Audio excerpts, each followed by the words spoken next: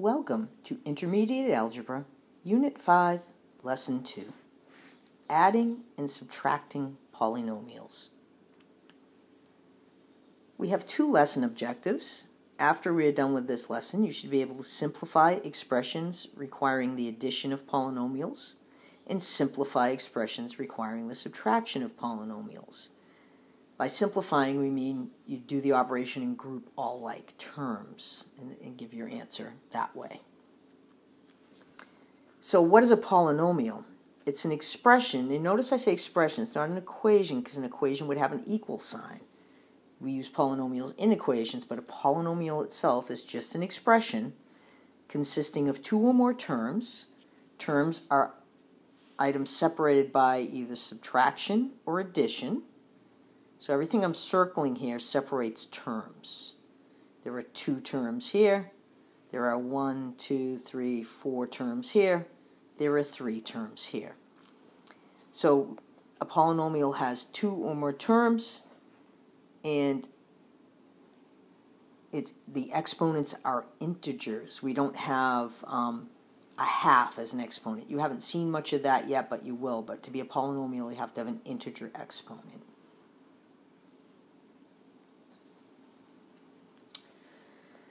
So how what do we mean by add and simplify? Well, if I have two polynomials, one is 5x squared minus 4, and the other is 4x cubed minus x squared plus x minus 6, and I am asked to add them, that is, that is the, the skill we're working on right now.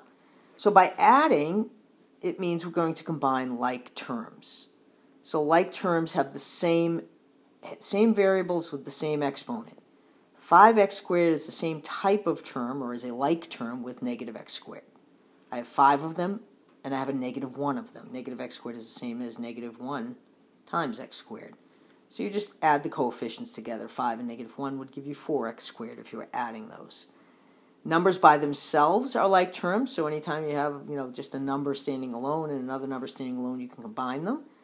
The sign in front of the number is what you're using to combine them. So if I want to combine this negative 6, this, the 6 with the 4, it's a negative 4 plus a negative 6.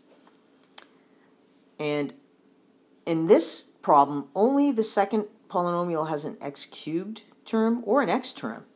So they end up not getting combined with anything else because there's no other terms that have those same variables with those same exponents in this problem. So here is how the addition can be written out. That's what you're doing. Now notice I put parentheses around each. This becomes really important when you do subtraction. But here's your first polynomial in the first set of parentheses, second polynomial there. So I look at the 5x squared and I say, are there any x squared terms there? Yeah, I have a 5x squared and a negative x squared. So I'm going to combine those. A negative 4 and a negative 6 get combined, and the 4x cubed and the x stand alone because there are no terms like them in the first polynomial. And I end up getting 4x squared minus 10 plus 4x cubed plus x. In math, we tend to write these out in, what we call standard form, where the highest exponent term goes first. So I just rearranged, put that term first. The x squared term will go second, and I keep the sign with the term. If there's nothing written out in front of the first term, it's a plus. Um, then the x term, it's x to the first, and then the number goes at the end.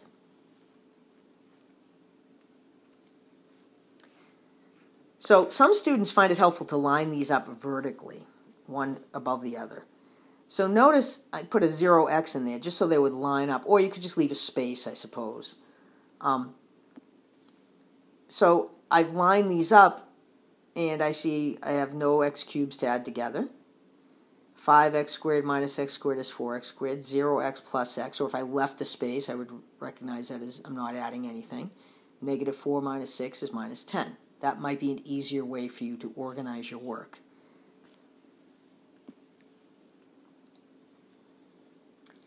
So how is subtraction different? We have to really remember that subtraction is just adding the negative of. And in the case of a polynomial, the negative of means you change the sign on every term. You know, with numbers, we know that subtracting 2 is the same as adding a negative 2. In a polynomial, if I want to subtract x squared minus 5x plus 6, it's the same as adding negative x squared plus 5x minus 6. Every term changes sign.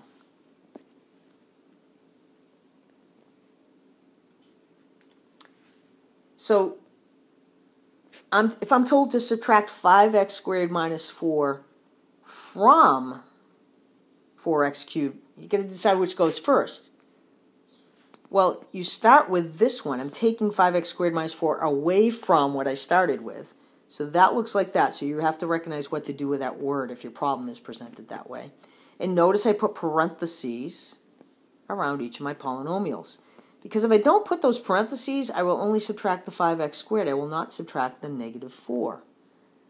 So I have to write that out carefully. Now, in algebra, we can look at the subtraction of a polynomial as distributing a negative 1. I multiplied the 5x squared by a negative 1. I got negative 5x squared. The, the negative 4 by a negative 1. I got positive 4. That's where the adding of the opposites comes. After I do that, this becomes addition. So I have 4x cubed and no x cubes to add from it. x negative x squared plus a negative 5x squared. Those are like terms. No x's to go with together in both sets of parentheses, just in the first set. And negative 6 plus 4. So let's take a look at this one. So the solution becomes 4x cubed minus 6x squared plus x minus 2. Often I see a minus 10 at the end because students do not subtract that second term. They add it. They leave the sign the same and add. You can't leave the same sign the same and add. You can change the, change the sign and add. And if you're not certain about what I mean by like terms, there is a video posted in Blackboard that should show you a little more about how to figure out what like terms are. That's a little bit before the um, entrance requirements this course, but certainly if you need to review it, I'm, I'm happy to help you or take a look at the video first and then get help. So let's do some examples. Example one, I'm going to add. Adding isn't too bad because I don't have to worry about signs as much.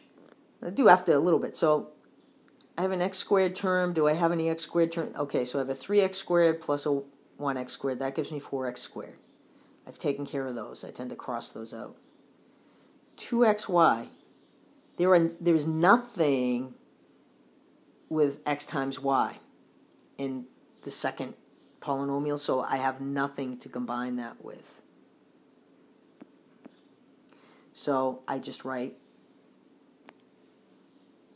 plus 2xy. Sorry, I lost my... Uh, so I get 4x squared that I had before, plus 2xy. Negative y squared. There's no y squared to my second polynomial, so I just write that down as it is. And now I have to see, I took care of 3x squared and the x squared. I have, and I took care of all of these.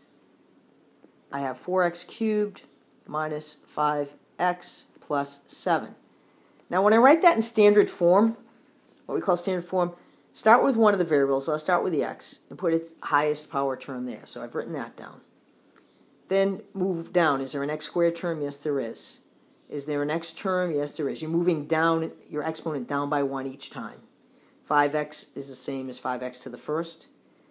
Then you go to the combination of the two variables, and then you move up in exponents. There's a 2xy, that's a y to the first. There's no other combinations of exponents, so I get minus y squared. So this will be my answer to that one in the correct order. So here's example two. This one is subtraction. So you want to be particularly careful. I am going to rewrite this as an addition problem first. 3x squared plus 2xy minus y squared plus negative 4x cubed minus x squared. I've changed the sign. Changed the sign of the negative 5x to become positive 5x. Positive 7 becomes negative 7. Now I'm adding. I have an x cubed term in the second polynomial, but not in the first. So I'll just write that down. So I'm starting with the highest power term and just adding now. Negative x squared plus 3x squared will be a plus 2x squared. 3 minus 1 is 2. Um, I have a 5x and nothing on the other side. 2xy. I'm just underlining them so I know I've taken care of them. Minus y squared minus 7. And that is the solution to that subtraction problem.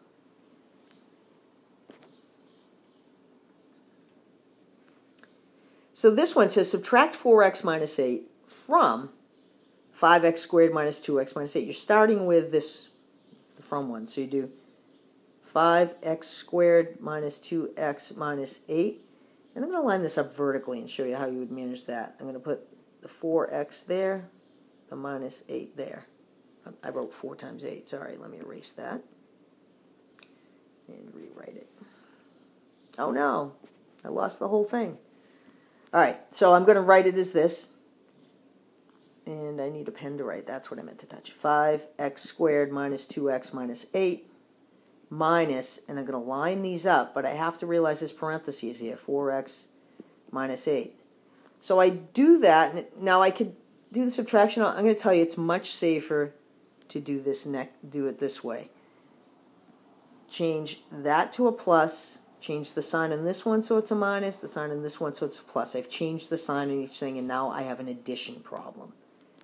And I can see negative 8 plus 8 gives me a 0. Negative 2x minus 4x is minus 6x. 5x squared plus no other x squared term gives me that. So my answer is 5x squared minus 6x.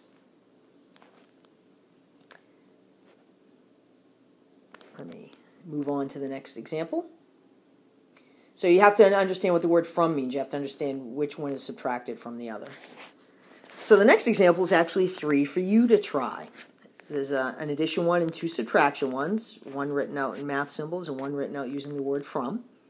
Stop the video, try each of these, and come back and check your answers. All right, here are the answers. If you are having difficulty with these, if you did not get any of them right, you need to get help right away. But if you just missed one of them, see if you can try and find your mistake and don't make it again. Thank you for joining me in this edition of Math Teacher to Go, and I'll see you next time.